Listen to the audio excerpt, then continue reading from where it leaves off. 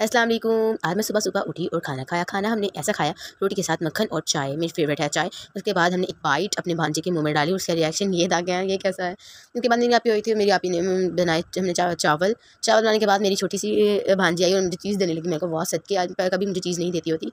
उसके बाद हमने पार्क। पार्क में बहुत ज़्यादा इन्जॉय किया और ज़्यादा मैं आपको गाय दिखाती हूँ। वो इतने गुस्से में थी जैसे मुझे लग रहा है किसी ने इसको खाना नहीं दिया कि अभी मुझे मार, उसके बाद ये खा रहे थे पॉपकॉर्न पॉपकॉर्न खाते मैंने देखा कि मेरा भांजा पॉपकॉर्न जाके एक गाय के मुँह में डाल रहा है कि तुम भी खा लो, तुम्हें तो कुछ नहीं मिला होगा ना। तो उसके बाद हमने लिए गाड़ी में झूले झूले बहुत मज़ा आया। फिर लिया मेरा भांजा कोटिन कैंडी कोटिन कैंडी भी मुझे लगा पैसे असली हैं अगर वो नकली थे, फिर मैंने उसे कॉटन कैंडी वापस कर दी। उसके बाद ये बच्चों का पार्टी, पार्क था। उसके बाद मुझे बहुत ज़्यादा भूख लगी थी। मैं चलो खाने की तरफ़ खाने को बगैर कुछ नहीं होता भी हमने खाई फ्राइज़ फ्राइज़ अंकल बना रहे थे और बहुत ज़्यादा यमी फ्राइज़ थी। हमने काफ़ी ज़्यादा ली और खा खा ली। उसके बाद हम जा रहे थे मैंने ये देखा, मैंने कहा, यार, इन्होंने क्या खा लिया है जो उनके मुँह से पानी निकल रहा है? उसके बाद यहाँ पर कोई सेल लगी हुई थी तो सेल में बहुत ज़्यादा चीज़ें महँगी थी। मैं छठ पर की लाइयाँ।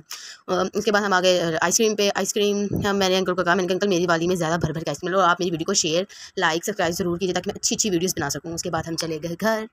ओके, बाय, अल्लाह हाफिज़।